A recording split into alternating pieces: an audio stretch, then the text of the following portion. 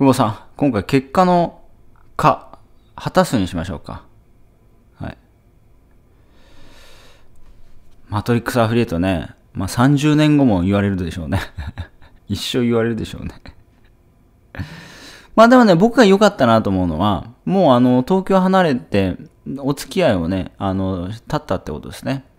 だから昔東京にいた時は、まあ会社にね、何回も、何回もっていうか、まあね、いろんな人が、あの、紹介してくれませんか？みたいなのが来てたんで。まあ、鹿児島には来ないですね。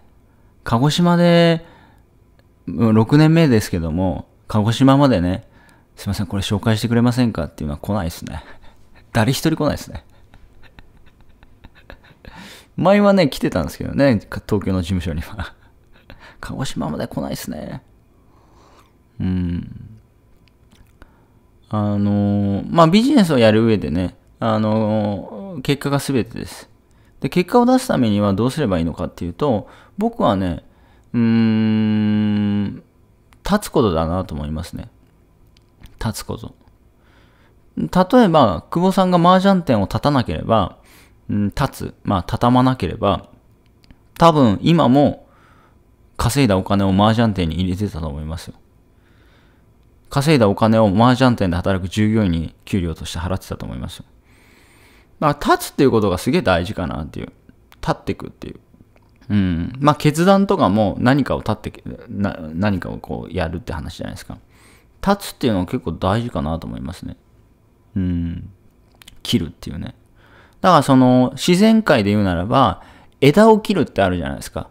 余分な枝を切る。例えば、あの、この、と、野菜とかもそうだと思うんですけども、まあ、いちごとか、あトマトとかもそうだと思うんですけど、メロンとかもそうかな。まあ、まあ、ほとんど、まあ、そんな感じだと思うんですけど、なんか、美味しいこの一つのね、果実を作りたい場合に、この余計なやつを切っちゃうと。で、切ることによって、それはこっちに養分いくじゃないですか。で、こっちがその甘みが増すみたいなね。だから切ってんですよね。で、一個実りを、こう、果実をね、こう、膨らますみたいな。美味しいイチゴを美味しいイチゴを作るためには、その一個のイチゴに養分いくために、他のやつ切るっていうね。うん。だからね、あの、僕は本当鹿児島、本当来て正解だなと思いましたね。まあ、ぶっちゃけその当時、その辞めるときに、あの、鹿児島だったら一緒にできないって言われましたから。本当はね、まあ、辞める気はなかったじゃなかったんですよね。ただ、その東京は離れたかったっていうのがあったんで、で、まあネット繋がってればね、スカイプもできるし、別に LINE もあるし、なんか別にどこでもできるじゃないですか。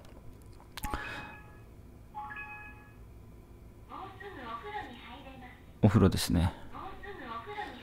だからまあ、で、鹿児島で、あの、やりますっつったら、まあ、鹿児島行くんだったら一緒にできないなと。別に関東でもいいじゃんと。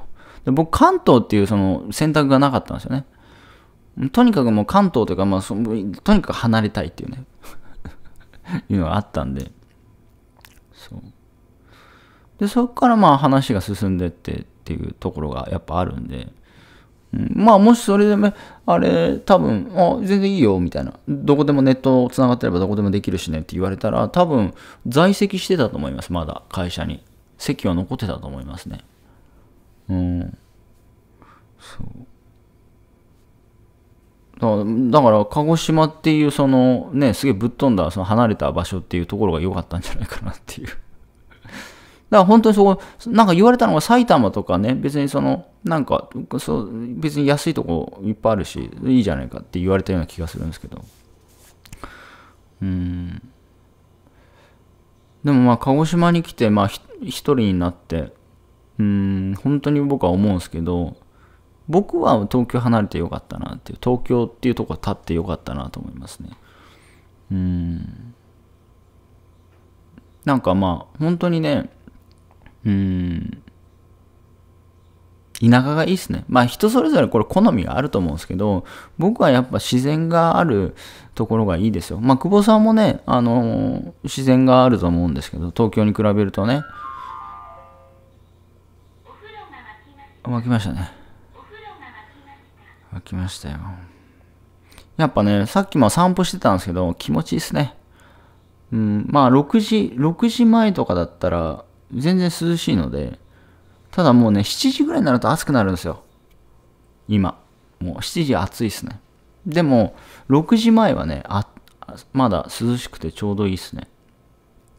もう7時に回るともう暑いっすね。うん。だけど、あの、なんですかね、あの、東京、東京にはないあの、澄み切った空気、特に朝なんかはね、東京の朝っていうのはなんか冷、なんですかね、コンクリートしかないですから、なんか、なんですかね、冷たい東京の朝みたいな感じですね。こっちはなんか神秘的な朝ですね。うん。そう。うん、な感じですか？いってらっしゃい。